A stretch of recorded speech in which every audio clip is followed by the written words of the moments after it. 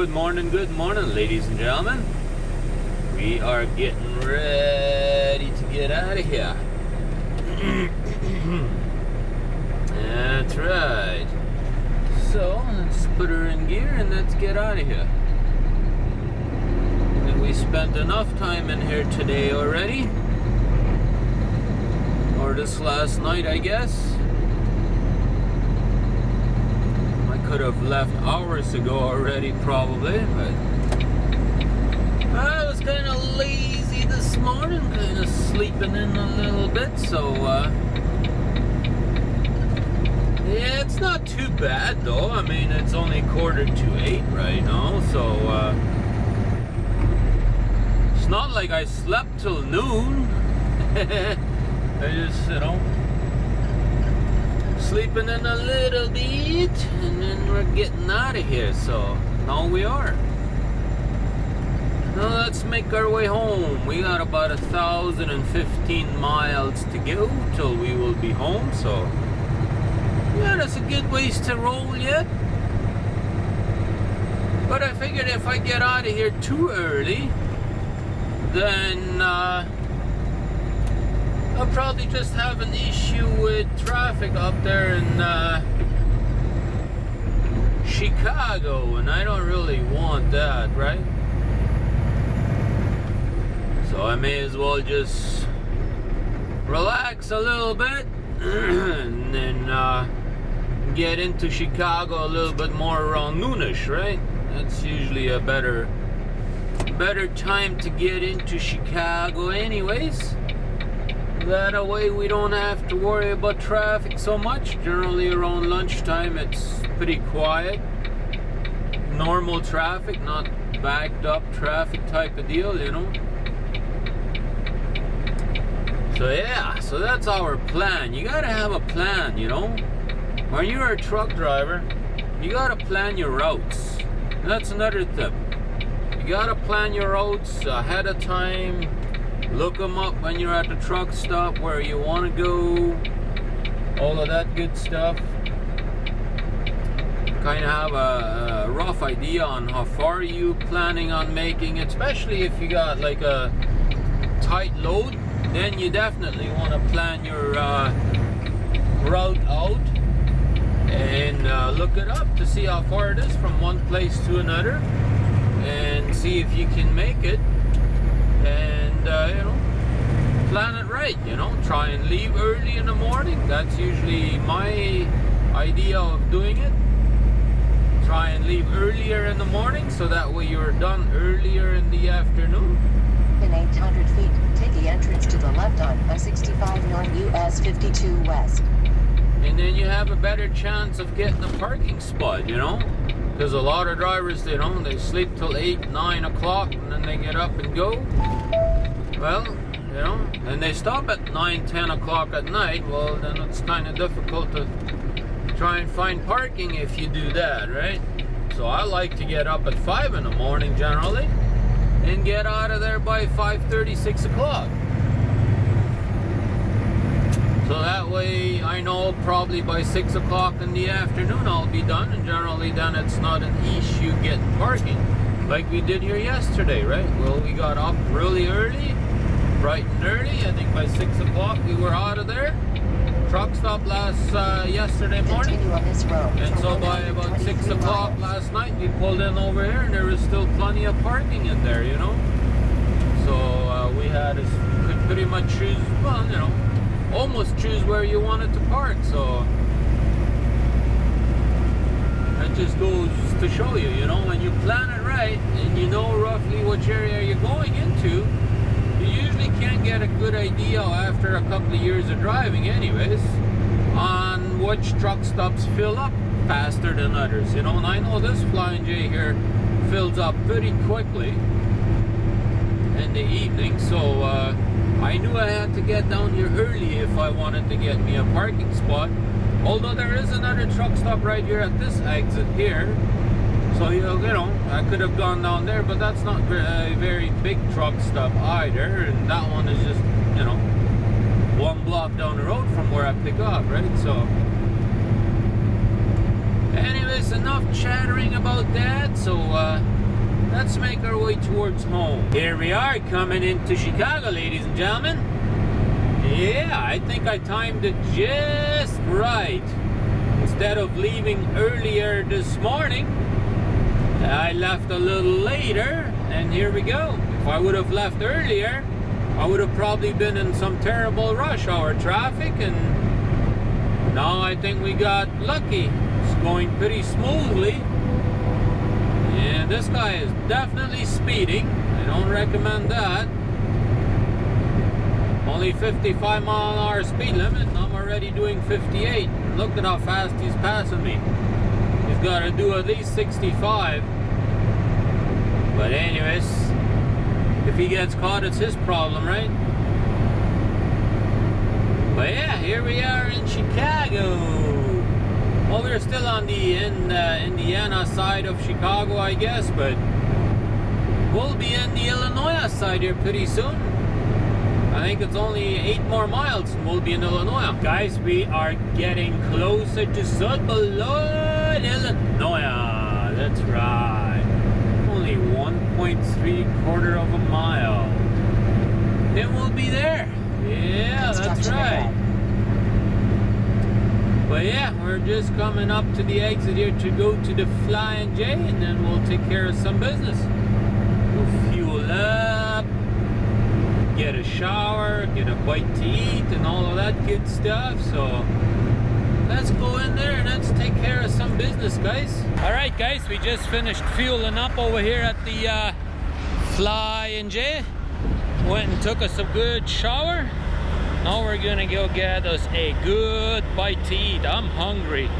So let's go inside and grab us a good bite to eat. What do you guys think? Is that a good idea or what? Making you guys hungry? Alrighty guys, I told you we were gonna have us a good bite to eat. So let's take a look. We got steak and eggs. Yeah, I love it. Alright guys, it is time to get out of here. I think we spent enough time in here today. I believe so. So let's go ahead and get out of out of South Beloit. That's right. Oh, that's uh, Jim Hiller. That could be Ellie Knight. You never know. I didn't see her in there, but that's that same company that she works for. Yeah. Wow. Okay. Well, looks like we got a bunch of stool bosses up here trying to get out of none of this truck stuff too. Oh, we had us a good bite to eat, as you guys saw. We had a good steak. Now we cleaned our windows and all that good stuff. Now it's time to get out of this area. We'll be in Wisconsin here as soon as we get uh, back on the interstate. So yeah. There we go. Looks like we might be getting some rain here in a little bit. Yeah, it's kind of hard to see if somebody's coming from over there because of the bushes up there, but yeah, nobody coming, so we're good to go. Yeah, we downloaded iOS 10 today. I mean, by the time you watch this, it's already. Construction ahead. seven days ago, In but hey, feet, turn left on we Gardner did Street. download it US today. 51. and- yeah, Wi-Fi up here, and I have a subscription for that, so I went ahead and downloaded that. And me a shower, bite to eat, fueled up, all that good stuff. So we are ready to roll now. I think I'm making pretty good time for today. Yeah, we're getting closer to Minneapolis. That's right. I think I'm going to be stopping here in a little bit though, and I'm gonna be calling it quits for today. That's kind of what I'm thinking. I'm not sure if that's exactly what we're gonna do, but I'm kind of thinking that's what we're gonna do. Because it's already about quarter after six. So, uh, I think we'll go ahead and stop here at exit 28. And then, uh, we'll continue on tomorrow with our journey. We only have 528 miles to go as of right now. So, get a few more miles to go and then we'll probably be done for today. So, yeah, I mean, we've done about 500 miles already today, so it's about halfway on what we need to do. So, uh, should be home tomorrow afternoon sometime. If everything will go according to plan, anyways, right? Yep, yep. It's been kind of cloudy all day long, pretty much this afternoon, anyways, and uh, hasn't really rained though. It's just been a little bit on the cooler side. It's been around like. Bring it over there, buddy. Been uh, like 20 degrees, now it's down to 18 degrees. And all that stuff, so. Uh, so yeah, it's starting to cool off. Overnight, we're already having to use the bunk heater in order to not freeze overnight. So, but the bunk heater works good so far this year. One recommendation for you guys that have bunk heaters is to uh, maybe get either get it serviced or do it yourself. Clean it up before it's winter. I don't think I'm going to do mine this year because I took mine apart there, I believe, uh, in spring. So I kind of worked on mine a little bit in spring. So I don't think I'm going to do mine this year, but a lot of you guys that didn't do it this summer, probably be a good idea right about now. Getting it serviced or take it apart and do it yourself. Clean her out. Get ready for winter. Because it's just around the corner, guys. It's just around the corner. Before you know it, it's going to be snowing up here. Yeah, I can just tell it's kind of cooling down pretty quickly already. And almost every day it's starting to get colder and colder. So yeah, winter is approaching fast. Which I don't really care. I mean, yeah, it's nice in summer, but I don't really mind the winter either. So either way, when it's not uh, summer, we have less construction and less four wheelers on the road too, generally. Because we got less campers and people that go camping and hunting and all that stuff, so. So, yeah, we'll have less traffic.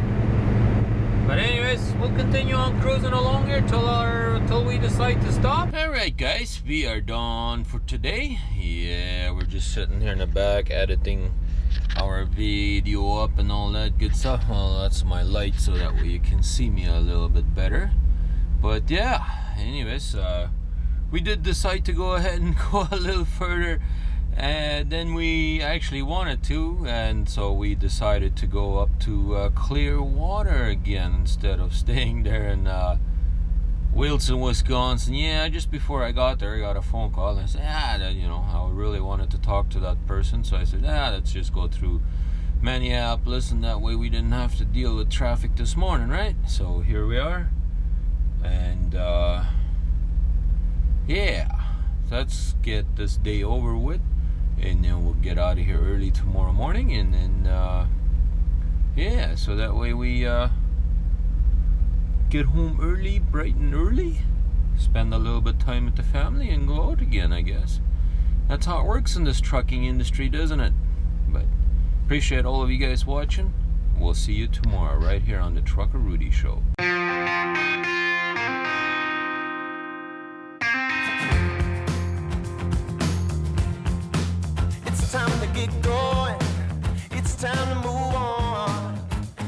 this behind me. That day is gonna come.